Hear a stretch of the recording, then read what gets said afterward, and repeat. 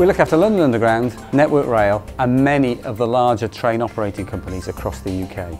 We manage a wide variety of assets here, everything from legacy systems installed in the 1970s, which is analogue systems, old computer systems long out of support, right through to the very latest virtual cloud-based technology. We currently uh, receive around 46,000 incidents a year uh, within the service centre downstairs. Around 36,000 of those are, are communications incidents. Um, across the UK we maintain 300,000 assets uh, on the rail network alone uh, and around about 24,000 remotely monitored nodes. Such a diverse range all coming back into one central system where we can monitor the data, understand the problems is quite a challenge, but we've overcome that, we've worked at that, and now we have data from a wide variety of assets that we can constantly monitor, review, and look for continuous improvement. We have an asset condition monitoring platform here, and it's now known as Acumen. What this does is we provide a package to the customer and it allows us to enable remote monitoring of escalators, lifts and CERs, known as communications equipment rooms. So what we've got here on the dashboard is we've got Stratford and Canary Wharf where the trial sites have been taking place and what we've got here is several cameras are showing out of alignment.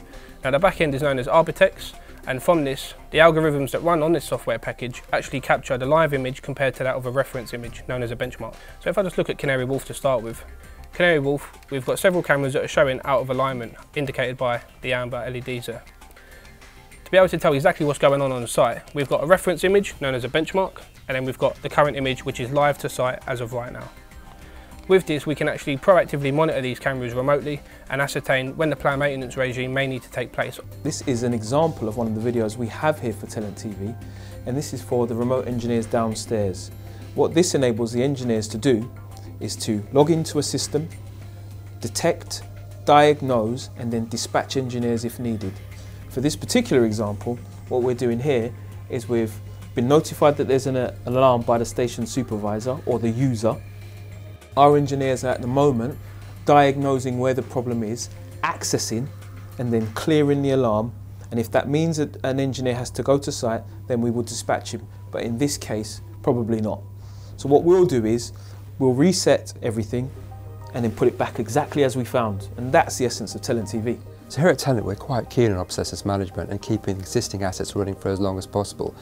And to produce this, we've actually introduced a management system which covers the full obsolescence of equipment that's already out there and those that will be introduced. And we have an internal repair workshop which actually re-engineer the hardware and keep it running for as long as possible whilst increasing the reliability of the older assets and at a fraction of the cost we can monitor it and actually keep it running year on year with the same reliability level. What you see here is several stations worth of equipment undergoing its soak testing prior to deployment to site. The units here are sort of latest generation processor based uh, logic controllers and we have written the software in them to enable us to measure and monitor all the variables needed for the monitoring on site. So typically sensors like this will connect into this and this will be variable numbers of temperature sensing, uh, vibration on lifts and escalators and now also power consumption around air conditioning units. What we're going to do now is pass this file over to the duty managers and the service centre team. What this is going to allow for them to do is find out the relevant engineers with the relevant skill sets and task them accordingly. When they get to site, they're going to liaise with myself if they need to. Having looked at system history and repeat failures, we're going to pre-program and a spare ready for site. The engineers can go to site with this device and then encourage our first time fix performance. When the field engineers are finished with their fault, the last test that they'll do for functionality testing will be to test it from the playback PC. Bringing innovation into those contracts delivers for both parties.